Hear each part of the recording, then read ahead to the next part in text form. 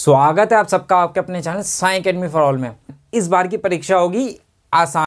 ये एक आर्टिकल आया है, नव भारत टाइम्स में। उन्होंने पब्लिश किया है कि आसान होगी इस बार की परीक्षा। देखे पैटर्न में क्या है बदलाव। हम वैसे भी आपको पैटर्न में बदलाव बता चुके हैं कि क्या क्या चेंजेस हुए हैं पैटर्न में इस बार एग्ज़ाम में।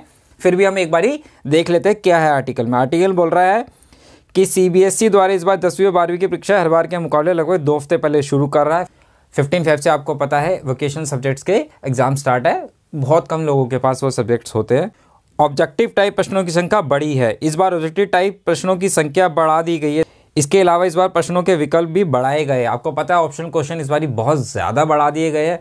पहले जो ऑब्जेक्टिव टाइप क्वेश्चन होते थे, वो टेन परसेंट होते थे। इस बार ही बताया गया कि twenty five percent objective type question आएँगे। और ऑप्शन में और जिसमें होता है कि ये नहीं तो वो कर सकते आप question thirty three percent option question है इस बार आपके एग्ज़ाम में minimum thirty three percent one third question में आपको ऑप्शन मिलेगा, और लिखा हुआ। मतलब ये नहीं तो आप ये कर सकते हैं। एक क्वेश्चन नहीं, में दो पार्ट है। एक नहीं आता तो आप दूसरा कर सकते हैं।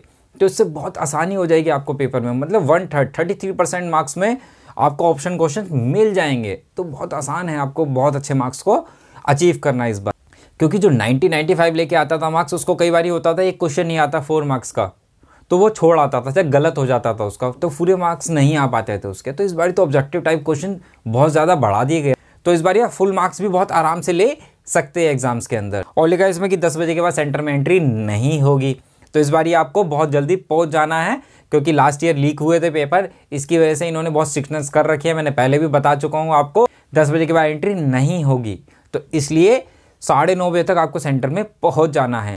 और आपको अपने रोल नंबर पे भी अपने पेरेंट्स के साइन, प्रिंसिपल के साइन और अपने साइन करने हैं। साथ में आपको स्कूल का एक आईडी कार्ड या आधार कार्ड रखना है। आईडी का स्कूल का आईडी कार्ड हो तो बहुत अच्छी बात है। आप उसे लेके जुड़ जाइएगा साथ में।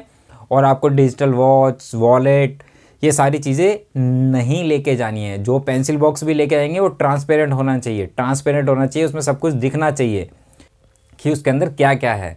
तो इन चीज़ों का बिल्कुल ध्यान रखिएगा आप जब भी एग्ज़ाम देने जाए। इसका लिंक मैंने डिस्क्रिप्शन में दे दिया है। कोई देखना चाहे तो वहाँ देख सकता है इस न्यूज़ का।